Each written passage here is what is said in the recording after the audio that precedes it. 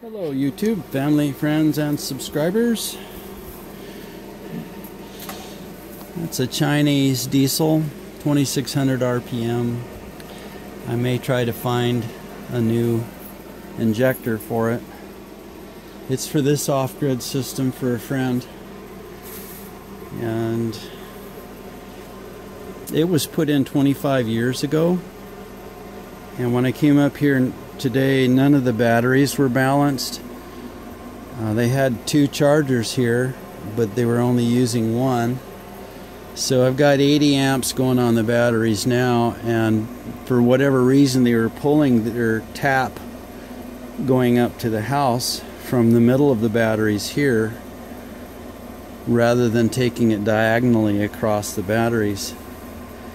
So I got rid of some unnecessary jumpers that weren't doing anything and I'm cleaning up some terminals and still trying to figure out where some of this stuff goes. I mean, this right here is uh, 12 volts, those two wires right there, and they're not protected. There's no fusing anywhere. There's a power panel coming down from the Jenny and there's no cover on it. So I'm going to see if I can sanitize this for the folks and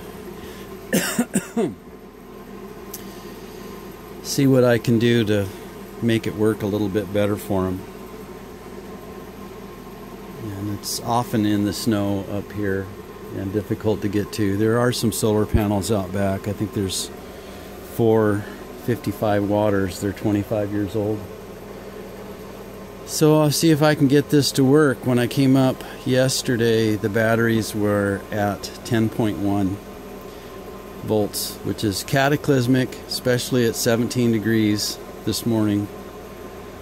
So we ran the Jenny last night just for a couple hours to try to save them. And when I came back this afternoon, 24 hours later, uh, they were at 11.6.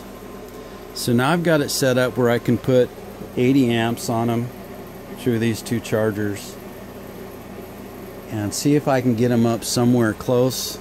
And if they keep giving me trouble I'm gonna have to disconnect each battery out of the bank and check the resistance on each one. Uh, two of them I can check the specific gravity the rest I can't. They're maybe I can pry the tops off of those or something. They're May of 2013. So they should still be alive, but if they've been taking them down to 10 volts on a regular basis, they're so, so, so sulfated. Really, the only thing we could do is just put big amps on them and work these batteries uh, day after day after day. But first, we got to get them as full as they can get and then maybe take 10% off of them and then put 80 amps on them again and do that over and over again see if we can desulfate some of those plates.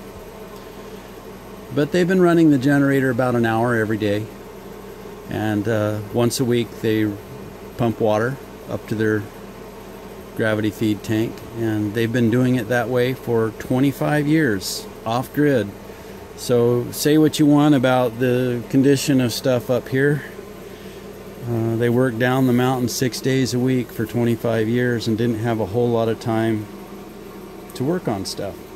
So I'm going to see if I can help out some. They've been really good folks to me over the years.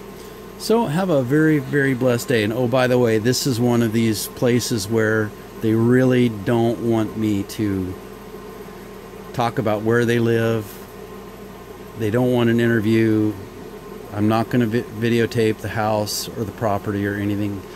It's one of those people that, you know, they live off grid and they're private because that's the way they want to be. And I don't blame them. That's fine. Uh, I'm not that way. I don't care who comes up to the house. I'll show them around. At any rate, have a very blessed day.